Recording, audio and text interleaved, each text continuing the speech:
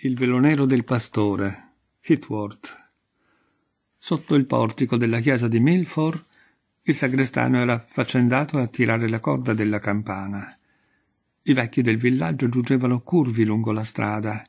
I bambini, coi visetti luminosi, sgambettavano allegramente accanto ai genitori o imitavano un'andatura più seria, consapevoli della dignità dei loro abiti domenicali. I giovanotti attillati sbirciavano le belle ragazze e pensavano che il sole domenicale le rendeva più graziose che nei giorni di lavoro. Quando la folla si fu in gran parte riversata sotto il portico, il sacrestano cominciò a suonare a rintocchi, tenendo lo sguardo fisso sulla porta del reverendo signor Hooper. Il primo apparire della figura del sacerdote era il segnale che faceva cessare il richiamo della campana. Ma che cos'ha sul viso il buon parroco Hooper? esclamò il sagrestano meravigliato. Coloro che poterono udirlo si volsero immediatamente e videro il reverendo Hooper che con andatura penosa si dirigeva lento verso la chiesa. Quasi di comune accordo trasalirono, mostrando più meraviglia che se un pastore sconosciuto fosse venuto a spolverare con la sua persona i cuscini del pulpito del reverendo Hooper.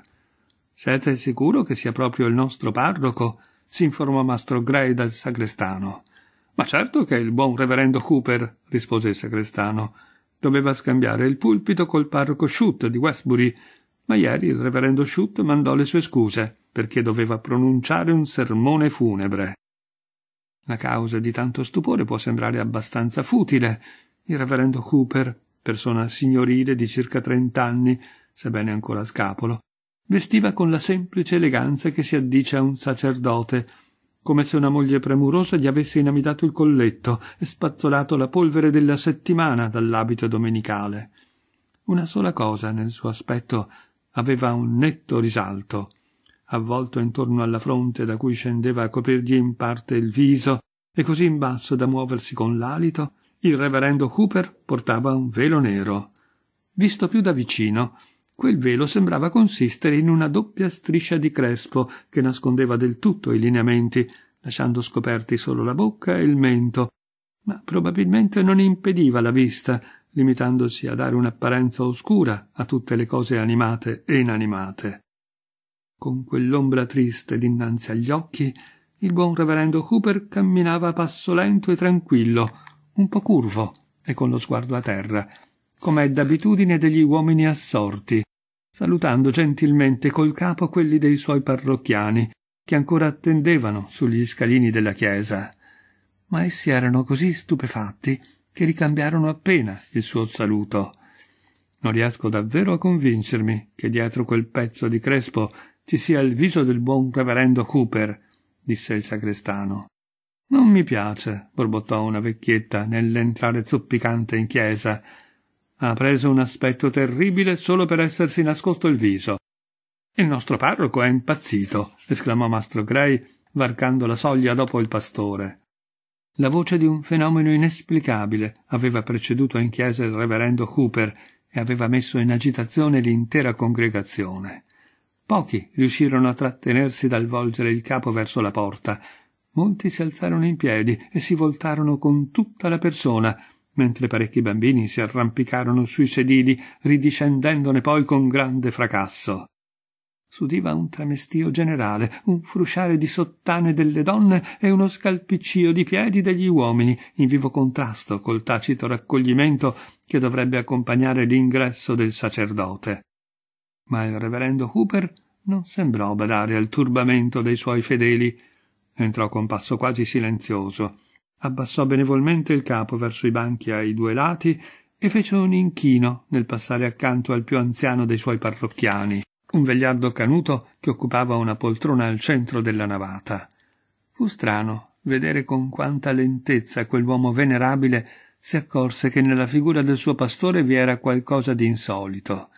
Non sembrò partecipare pienamente della sorpresa generale, prima che il reverendo Cooper salita la scaletta, si fosse mostrato sul pulpito a faccia a faccia con la congregazione, da cui lo separava solo il suo velo nero. Quell'emblema misterioso non fu sollevato neppure una volta. si mosse col respiro misurato del pastore quando egli recitò il salmo, interpose la propria ombra fra gli occhi e la sacra pagina quando lesse la Bibbia, e quando egli pregò il velo ricadde cupo sul volto sollevato. Cercava forse il pastore di nascondere il suo viso dall'essere temuto cui si rivolgeva? Tale fu l'effetto di quel semplice pezzo di crespo che più di una donna delicata di nervi fu costretta ad uscire dalla chiesa ma i fedeli, con i loro volti pallidi, erano forse per il pastore uno spettacolo pauroso quanto per loro il suo velo nero. Il reverendo Cooper aveva fama di essere un buon predicatore, ma non molto energico. Cercava di condurre i suoi parrocchiani alla via del cielo con una influenza mite e persuasiva, invece di trascinarveli coi fulmini del verbo. La predica che pronunciò in quell'occasione fu improntata alle medesime caratteristiche di maniera e di stile proprie di tutta la sua oratoria sacra.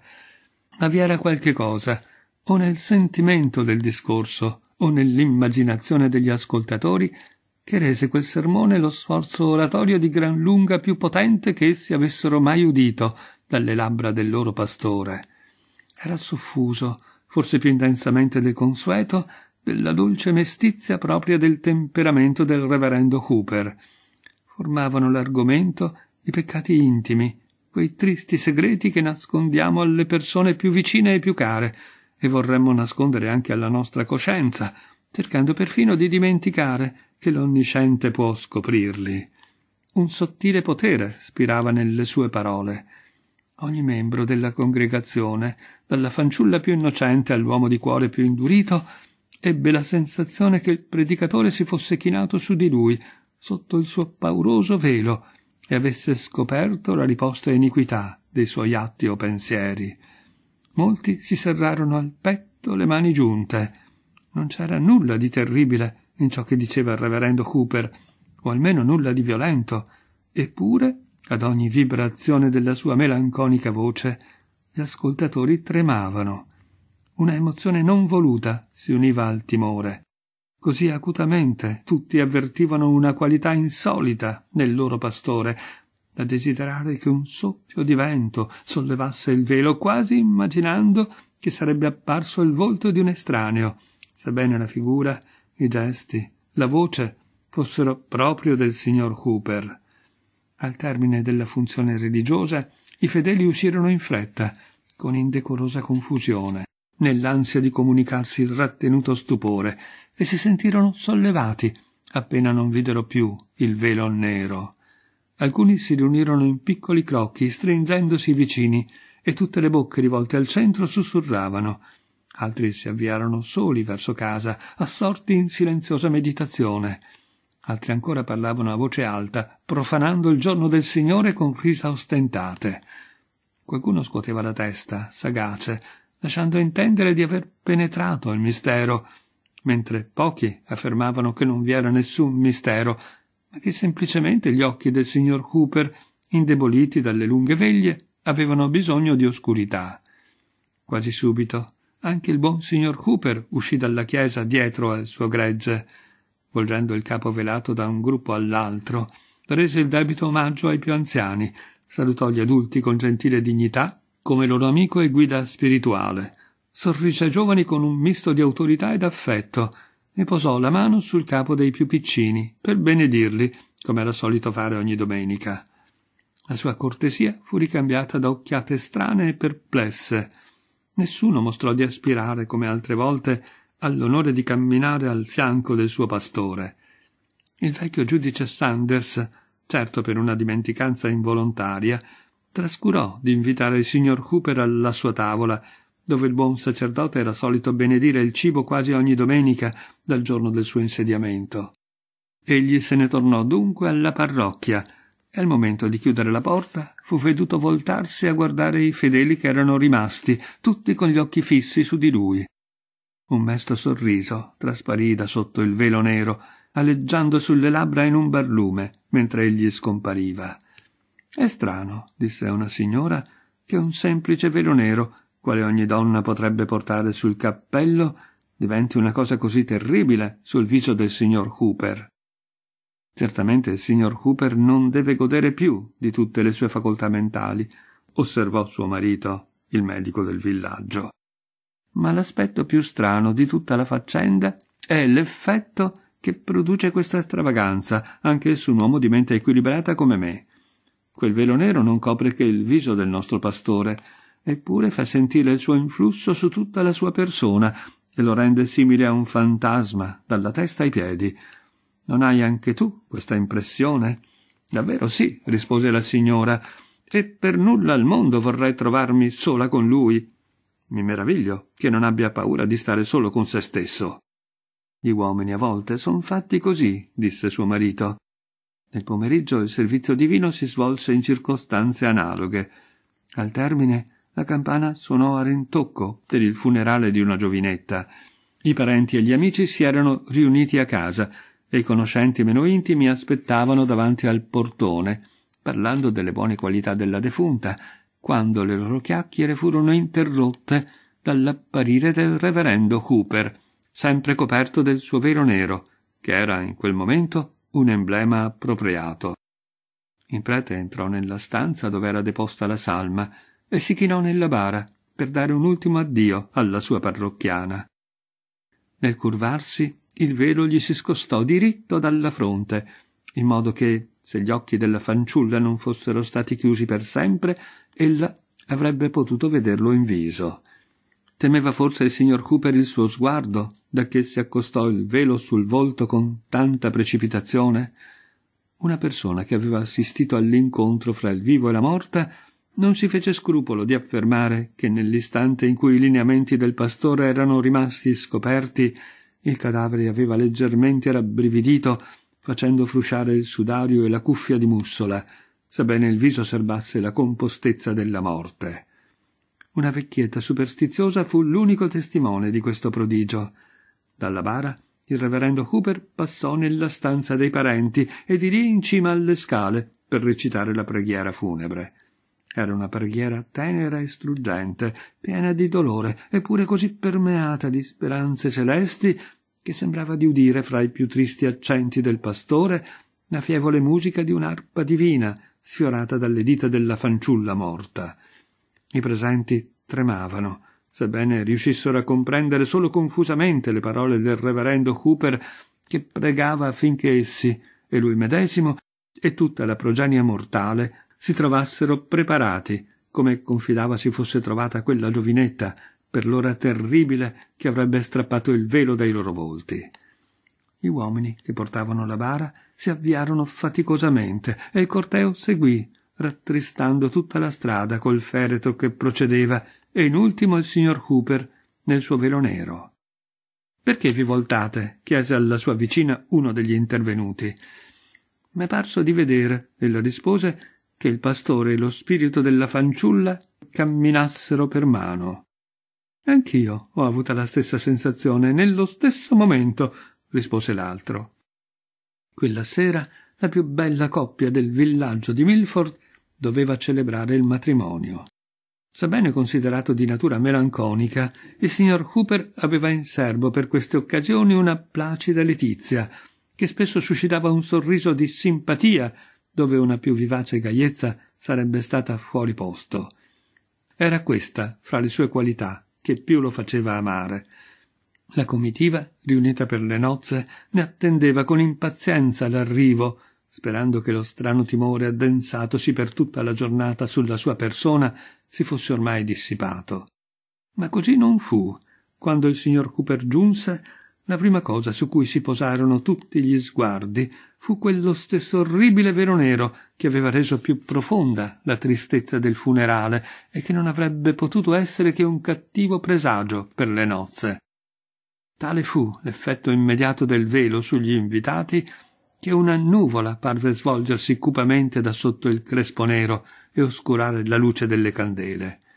La coppia nuziale stava in piedi davanti al pastore, ma le dita gelide della sposa tremavano nella mano agitata dello sposo, e il suo pallore mortale fece sussurrare che la fanciulla sepolta poche ore prima fosse tornata dalla tomba per sposarsi se mai si celebrarono nozze così lugubri, fu nell'occasione famosa in cui la campana nuziale suonò a morto. Dopo la cerimonia, il signor Hooper si accostò alle labbra un bicchiere di vino, augurando ogni felicità ai novelli sposi, in un tono di dolce gaiezza, che avrebbe dovuto rischiarare i volti dei convitati come un'allegra fiammata del focolare.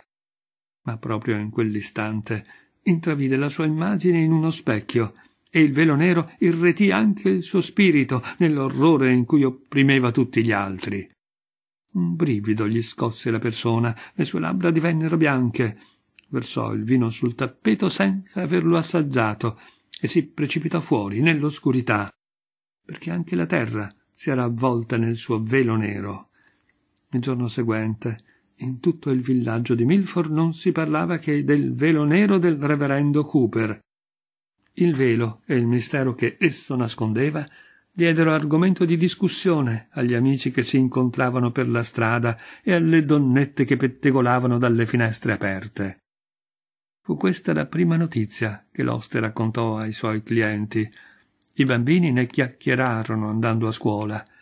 Uno di quei diavoletti, dotato di spirito di imitazione, si coprì il viso con un vecchio fazzoletto nero spaventando i suoi compagni di, spaventando i suoi compagni di gioco a tal segno che egli stesso fu preso dal panico e per poco non svenne a causa del suo scherzo. Eppure, di tutti i ficcanaso gli impertinenti della parrocchia, non uno si arrischiò a domandare francamente al signor Cooper perché egli si comportasse in quel modo. Fino allora, alla minima opportunità per una simile ingerenza, il pastore non aveva mai mancato di consiglieri, né si era mostrato contrario a lasciarsi guidare dal loro giudizio. Se mai gli accadeva di sbagliare, ciò avveniva per una così dolorosa sfiducia in se stesso che la minima critica lo induceva a considerare l'azione più semplice come un delitto. Ma pur conoscendo così bene questa sua amabile debolezza, nessuno dei suoi parrocchiani si decise a fare del velo nero l'argomento di una amichevole rimostranza. Provavano tutti un senso di timore, non confessato apertamente, ma nemmeno accuratamente celato, che spingeva ognuno a scaricare la responsabilità su altri, finché da ultimo si giudicò opportuno inviare una deputazione di membri della Chiesa per discutere col signor Cooper quel mistero prima che degenerasse in uno scandalo ma l'ambasciata adempì così male la sua missione. Il pastore li accolse con amichevole cortesia, ma appena si furono seduti rimase in silenzio, lasciando ai visitatori tutto il peso di affrontare la grave questione. L'argomento della visita, come si può bene immaginare, era evidente. Il velo nero stava lì, sempre avvolto intorno alla fronte del signor Cooper, nascondendole i lineamenti al di sopra della placida bocca su cui a tratti essi vedevano aleggiare un melanconico sorriso. Ma nella loro immaginazione quel pezzo di crespo sembrava scendergli fino sul cuore, simbolo di un pauroso segreto interposto tra lui e i suoi parrocchiani. Solo che il velo fosse stato sollevato e si avrebbero potuto parlarne liberamente, ma non prima. Così rimasero seduti parecchio tempo, muti, confusi, cercando nel loro disagio di sottrarsi agli occhi del signor Cooper, che sentivano fissi su di loro con uno sguardo invisibile.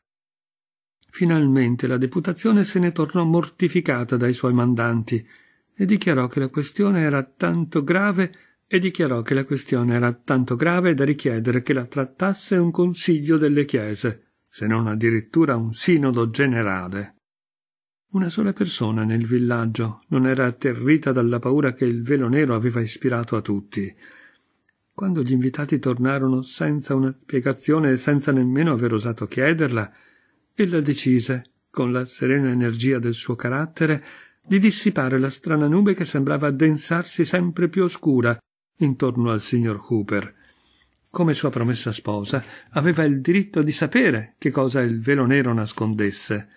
Perciò alla prima visita del pastore, ella entrò in argomento con una franca semplicità che rese il compito più facile per tutti e due. Quando si fu seduto, ella fissò con fermezza gli occhi sul velo, ma non riuscì a scoprirvi affatto quella terribile tristezza che aveva tanto intimorito la popolazione. Era solo un crespo doppio che gli pendeva dalla fronte fino alla bocca e si muoveva lievemente col respiro.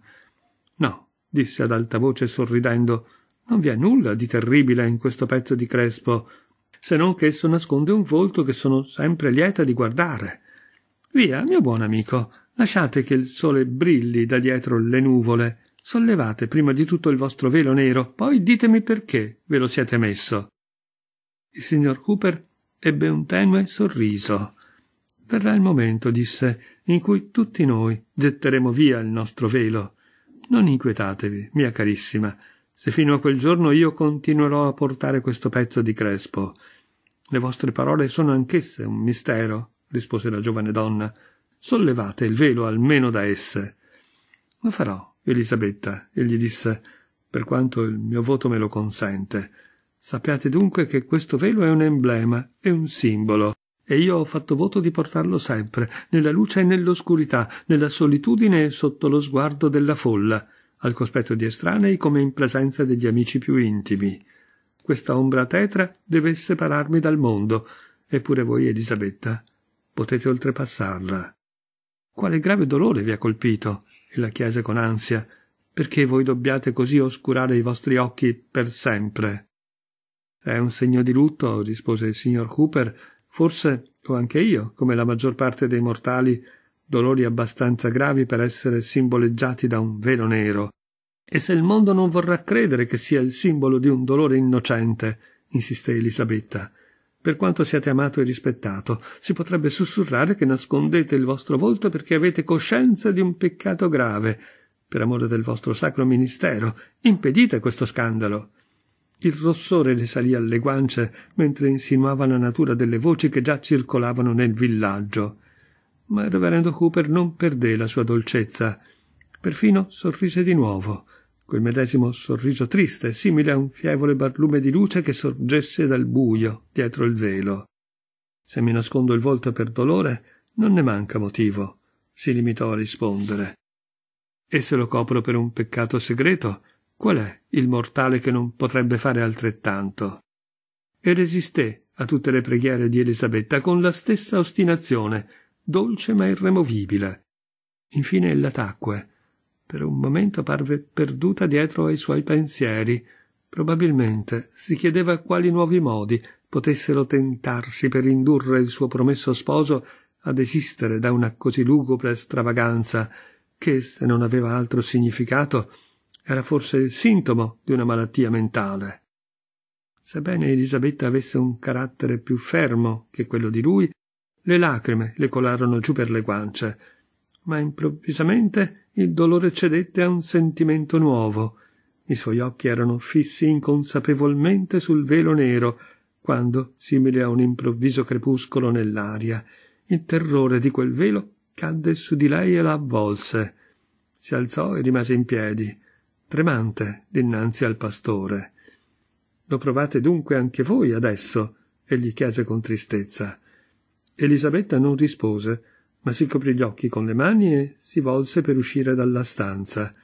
Egli le corse dietro e le afferrò il braccio. Abbiate pazienza con me, Elisabetta, esclamò con passione. Non mi abbandonate, anche se questo velo dovrà stendersi fra noi due, qui sulla terra. Siate mia e nella vita futura non vi sarà nessun velo sul mio volto, nessun'ombra fra le nostre anime. È soltanto un velo mortale, non è per l'eternità. Oh, voi non sapete come sono solo e come mi fa paura essere solo dietro il mio velo nero. Non lasciatemi per sempre in questa oscurità. Sollevate il velo solo una volta e guardatemi in viso, ella rispose. Mai. È impossibile, replicò il signor Cooper. Allora addio, disse Elisabetta. Liberò il braccio dalla sua stretta e uscì lentamente, fermandosi sulla soglia per rivolgergli un lungo sguardo pieno di raccapriccio, che parve quasi penetrare il mistero del velo. Ma, pur nel suo dolore, il signor Cooper sorrise al pensiero che un semplice emblema materiale l'aveva separata dalla felicità, sebbene gli orrori che esso adombrava dovessero interporsi cupamente fra gli amanti più appassionati. Da allora nessuno tentò più di indurre il signor Cooper a togliersi il velo nero, né di scoprire direttamente da lui il segreto che vi si supponeva celato. Le persone che pretendevano di essere superiori ai pregiudizi popolari lo consideravano come un semplice capriccio bizzarro, quali spesso si introducono nelle azioni equilibrate di uomini abitualmente ragionevoli, colorandole nella loro apparenza di follia. Ma per la massa il povero signor Cooper fu irrimediabilmente uno spauracchio. Non poteva andare per la strada con animo tranquillo, tanto chiaramente vedeva che i buoni e i timidi scantonavano per evitarlo e che gli altri consideravano una prova di coraggio mettersi sul suo cammino. L'impertinenza di costoro lo costrinse a rinunciare alla sua abituale passeggiata verso il cimitero all'ora del tramonto, poiché mentre si appoggiava pensoso al cancello, sempre dietro le pietre tombali, vi erano facce che spiavano il suo velo nero. Corse voce che fosse stato lo sguardo dei morti ad allontanarlo da quel luogo.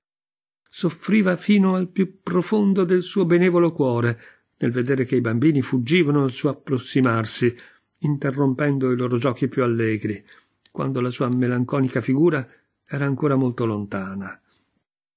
La loro istintiva paura gli fece sentire, più di ogni altra cosa, che un orrore soprannaturale era intessuto nei fili del suo crespo nero. In verità era noto che egli stesso provava per il velo un'antipatia così forte che non passava mai volentieri davanti a uno specchio, né si chinava a bere a una calma fonte per non essere spaventato della propria immagine riflessa nel suo placido seno.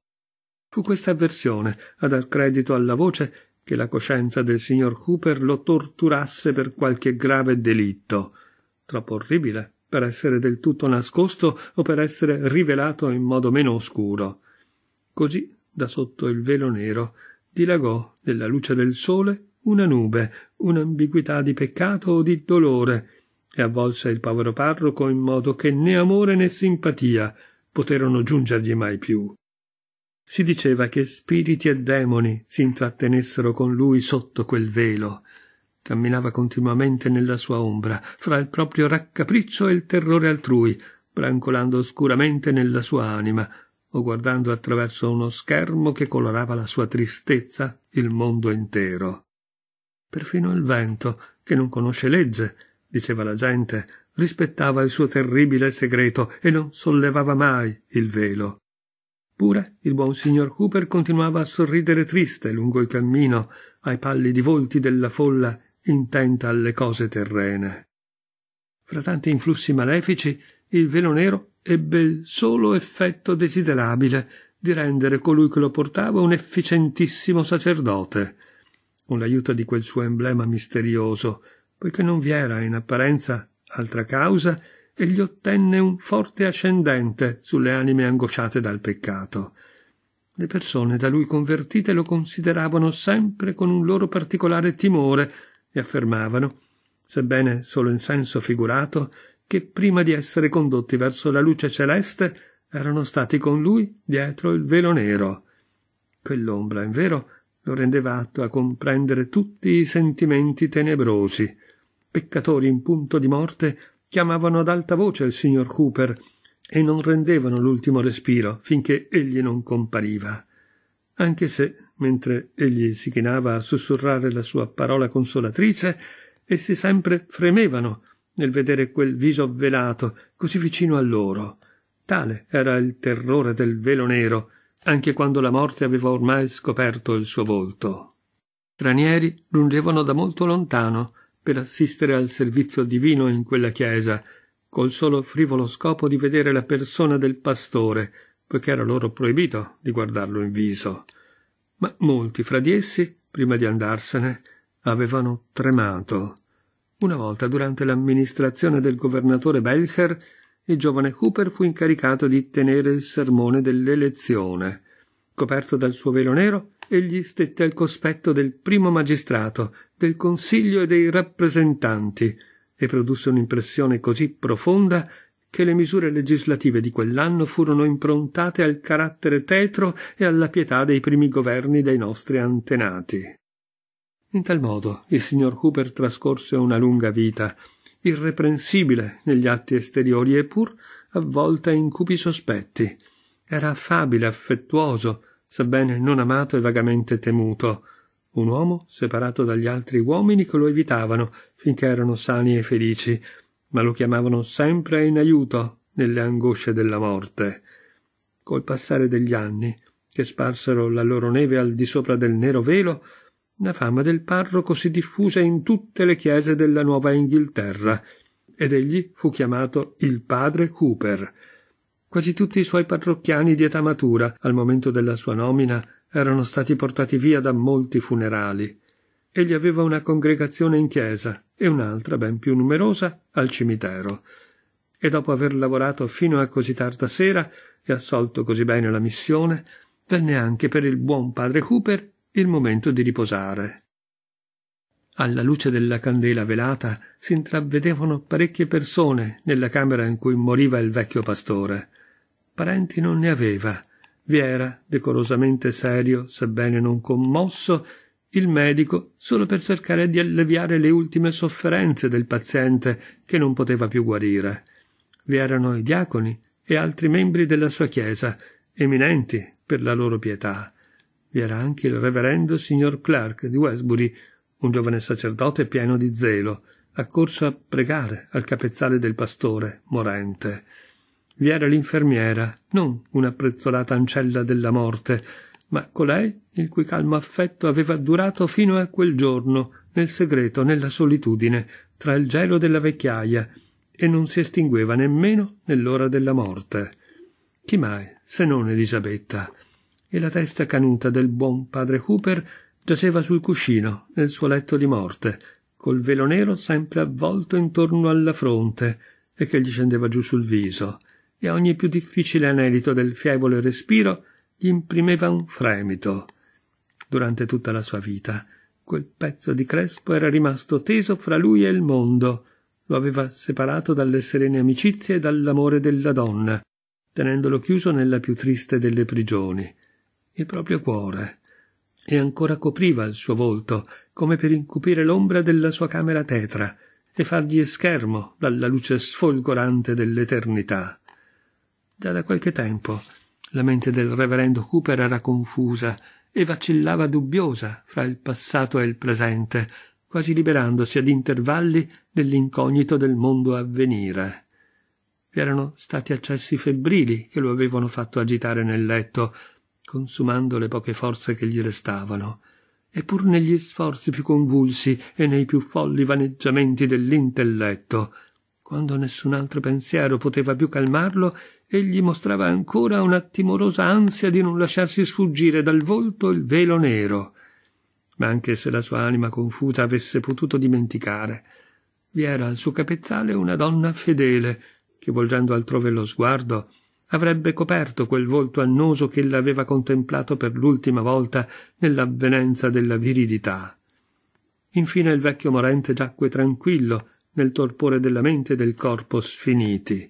Il polso batteva impercettibilmente e il respiro si faceva sempre più debole, se non quando un soffio lungo, profondo e irregolare parve preludere al distacco del suo spirito. Il pastore di Westbury si avvicinò al letto. Venerabile padre Cooper, disse, il momento della vostra liberazione è prossimo. Siete pronto a sollevare il velo che separa il tempo dall'eternità? Il padre Cooper si limitò a rispondere con un debole moto del capo. Poi, temendo forse che il significato del suo assenso fosse dubbio, si sforzò di parlare.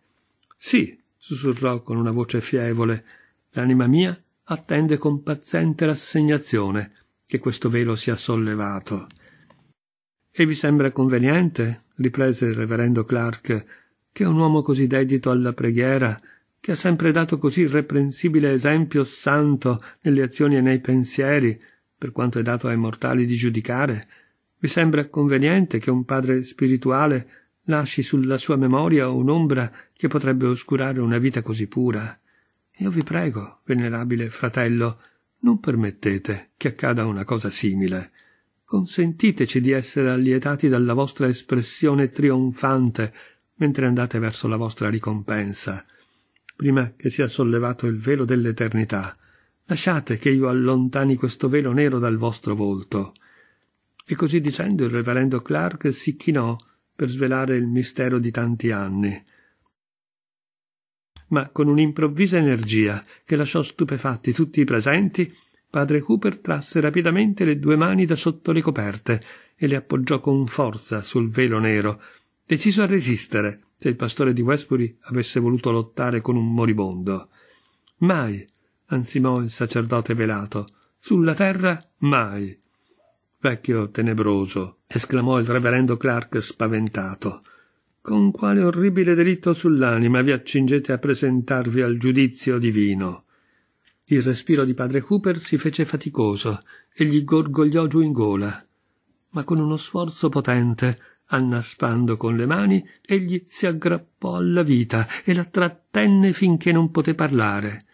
Riuscì perfino a sollevarsi nel letto e rimase così, tremante tra le braccia della morte, col velo nero sempre abbassato, terribile in quel momento supremo, tra gli accumulati terrori di un'intera esistenza.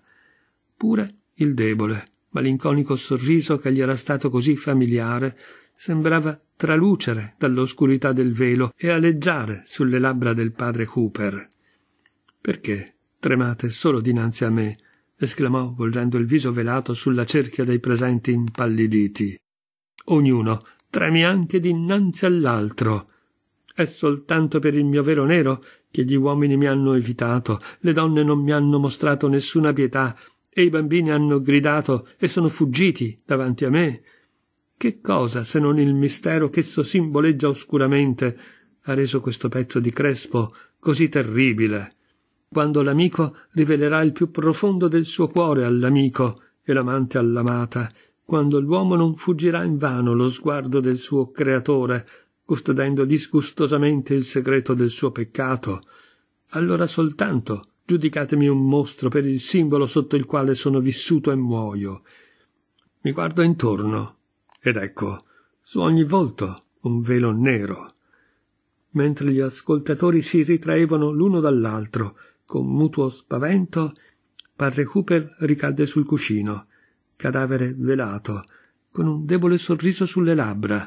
Sempre velato, lo composero nella bara e velato lo portarono nella tomba.